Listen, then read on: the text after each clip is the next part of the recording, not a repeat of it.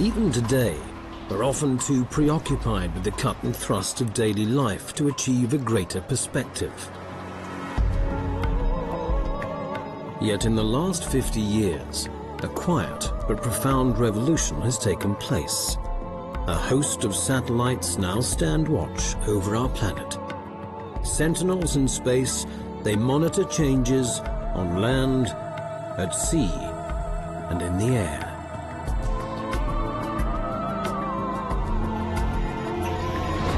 Like guardian angels, they help protect our precious globe.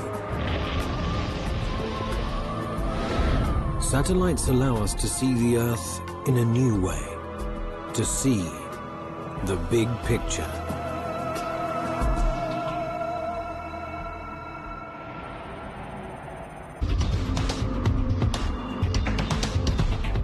Satellites tracked the most destructive hurricanes of the year, including infamous Katrina.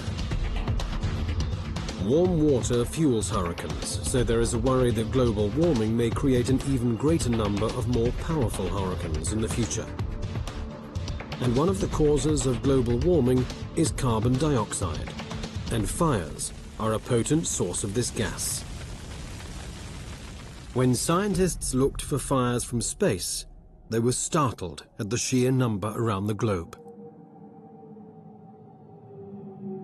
Yet again, satellites revealed a new side to our planet, a fiery aspect. Nowhere was that more so than in Africa, which quickly became known as the Fire Continent. The satellites showed fires sweeping south each year with the dry season.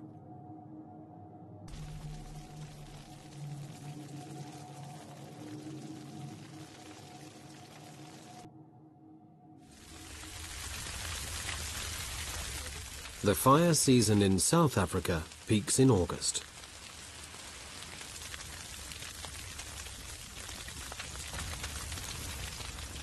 Here, fires are both natural, caused by lightning, and set by humans to clear the bush and to prepare fields for planting.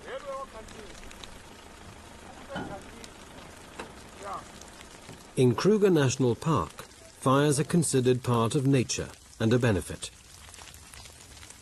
Only fires that threaten people are fought. Otherwise, the teams just keep a watchful eye and contain the conflagration. So, how do satellites help here?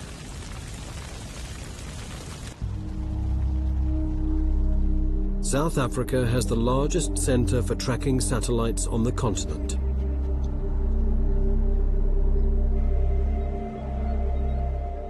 Philip Frost works for the Council for Scientific and Industrial Research and is a remote sensing specialist.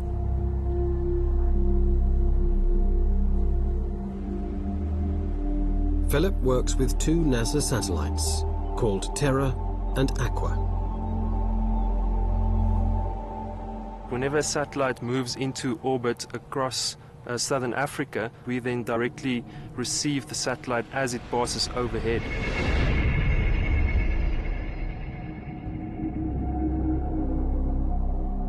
Normally takes about uh, 10 to 14 minutes for a satellite pass to complete from horizon to horizon.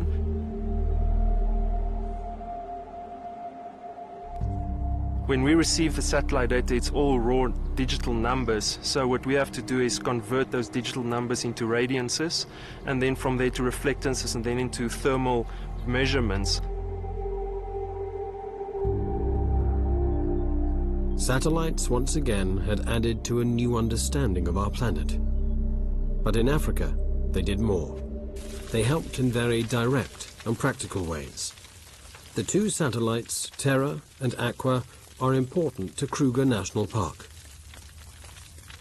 Besides using the MODIS imagery to map our fires and monitor our fires, we also use the active detections and the GPS coordinates that we get uh, from MODIS to alert us to the possibility that there may be a fire in the veld. And when we then go out, the rangers go out to look or to identify the fire, they will then monitor that fire. So what happens is it helps us to early to detect the fire and then we can then look at what's happening around us so that we can either put in suppression techniques or let the fire burn. The satellites add to the information about where fires have occurred With this knowledge, controlled fires can be set where they are most needed. We as the managers of the park would like to set our fires so you don't have large uncontrolled wildfires.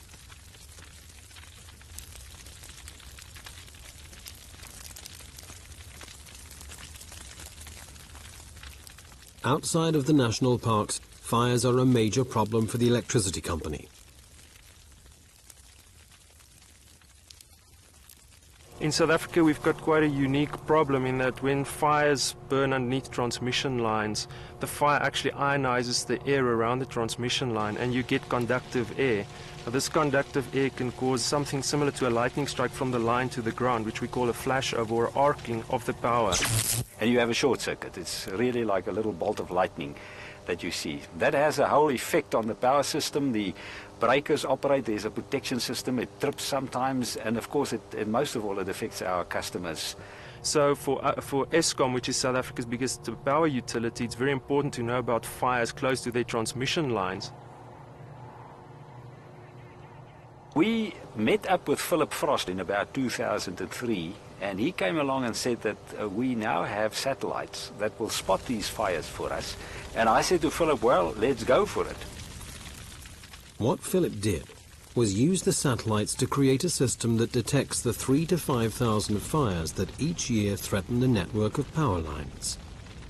But his system does more. After finding a fire close to cables, it automatically calls the manager responsible with the coordinates of the fire.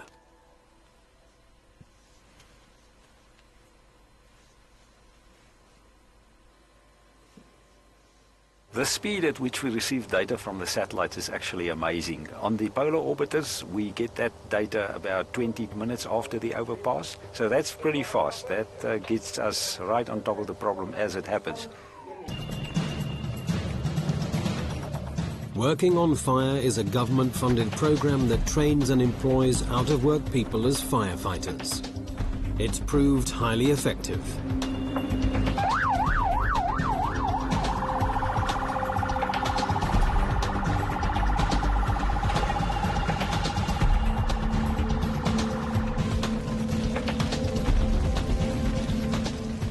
Satellites have not only revealed the huge numbers of fires around the planet, but in South Africa, they've helped reduce the damage that they cause.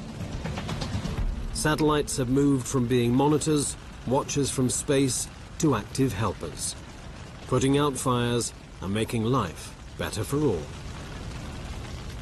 Fires are a major source of smoke and polluting gases such as carbon monoxide.